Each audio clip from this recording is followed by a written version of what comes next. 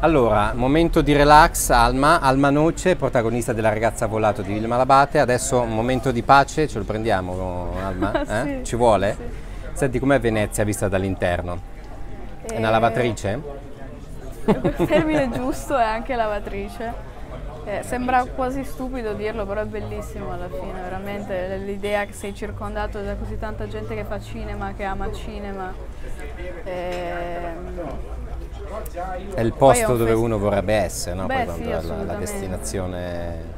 Senti, tu arrivi a Orizzonti con un film molto forte, con una grande regista come Vilma Labate. Innanzitutto come è stato interpretare quel ruolo, perché non è un ruolo diciamo dei più semplici, insomma. E come lo hai preparato, perché insomma è bello tosto, diciamo, no? con un eufemismo. Sì, però è anche mh, raccontato in modo molto naturale, quindi non mi è mai stato richiesto proprio un grande sforzo in verità. Io andavo sul set e, e pensavo che, che- che, diciamo quello che c'era scritto in sceneggiatura, la scena che dovevo fare fosse quello che stava Ah, succedendo ok, quindi- veramente e cercavo di reagire nel modo più naturale possibile, no? sempre con l'idea che comunque lei è una ragazzina di 16 anni che Certo. si trova a affrontare delle cose bruttissime ma anche completamente nuove. E, eh, poi con Vilma ci siamo sempre trovate molto d'accordo su come doveva essere questo personaggio. E tu hai una controparte maschile interpretata da Luca Zunice, con lui come hai lavorato? Perché anche quella è ovviamente la parte fondamentale no, dello snodo del film. Noi ci siamo, ci siamo trovati molto bene, siamo andati subito d'accordo. Io quando lui è venuto a fare i provini ero lì che gli facevo da spalla, diciamo. Hai conoscevate già prima no? Con No. Luca? No. No, no, ci siamo conosciuti al suo provino. Poi eh, lui è un ragazzo molto attivo, sveglio, onesto, è simpatico, quindi era, è stato rassicurante insomma lavorare con una persona che quello che ti fa vedere è quello che è Certo, fondamentalmente. certo, senza... Sì, sì, anche E- affrontare appunto queste scene qui, io alla fine Eh, esatto, perché- con lui ci siamo sempre trovati bene, ne abbiamo anche parlato, sempre cercando di farlo in un modo in un certo senso un po' leggero, perché sono delle cose che già sapevamo che avremmo dovuto farle, quindi era sempre E quindi c'era già il pensiero C'era già il pensiero, però si cercava in un certo senso di far finta che non fosse vero quasi, no? Infatti noi abbiamo anche con, con Vilma questa, questa scena, che forse è una delle scene più importanti del film, è stata, l'abbiamo girata per una giornata intera senza Ah. mai esserci parlati e alla fine della giornata non era soddisfatta né Vilma né noi e abbiamo capito che effettivamente era un discorso che andava affrontato. Per noi era questo proprio per dire di quant'è difficile parlare di queste cose. Eh è anche sì. un po' la tematica del film, no? Esatto, sì, no, non- il tabù, Sì, sì, no? lei Il- non riesce a comunicare né prima né dopo. Sì. C'è questo blocco di ghiaccio praticamente. Senti, eh, da Muccino a Vilma Labate com'è stato il, il passaggio? Insomma, due mondi completamente diversi, no? Sì, sono... Beh sì, poi ogni regista è diverso, ogni film è diverso, Muccino è molto eclettico, è sempre lì con queste cose, con spinge, questa- va. Sì, che spinge, vai, urla, E Vilma? caricati, fai. Zen. Invece è super...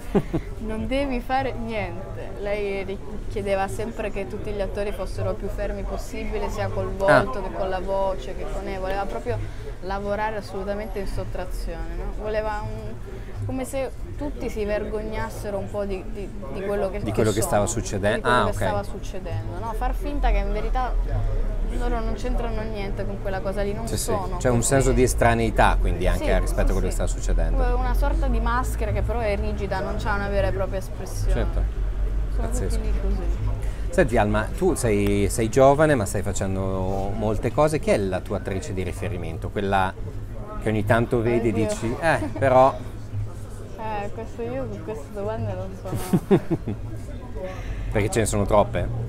Ma sì, poi io ho anche questa idea che eh, gli attori, poi senza dubbio ci sono degli attori che sono fenomenali, ma gli attori funzionano molto in base anche alla persona con cui lavorano, il regista Sì, con cui lavorano e la persona che li sta Spesso cambiano nella scena, completamente cambiano anche, completamente.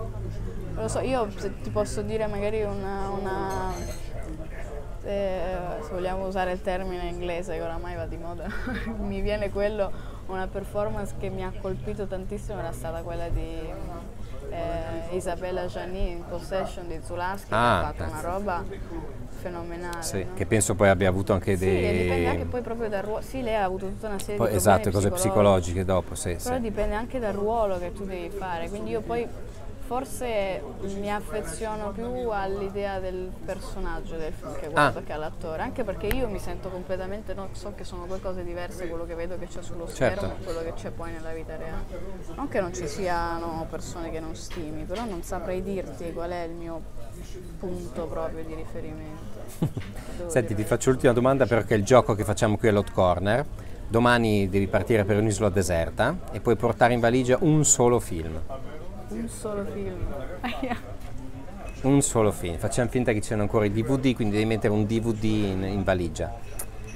Eh. Mi mando tra bocchette. Eh, sì. Fai scegliere un film. Un, un cofanetto. Vabbè, del cofanetto posso anche passartelo volendo. Eh, non lo so. ehm,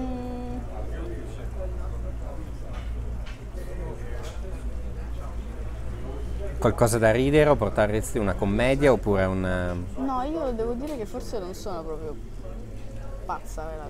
Ah, ok, quindi... Io amo molto i film un pochino più o che sono eh, proprio realistici come appunto questo, oppure i film proprio visionari come metti come era Lynch o come può essere Ah. per esempio Zulaski che dicevo prima uno dei miei registi preferiti.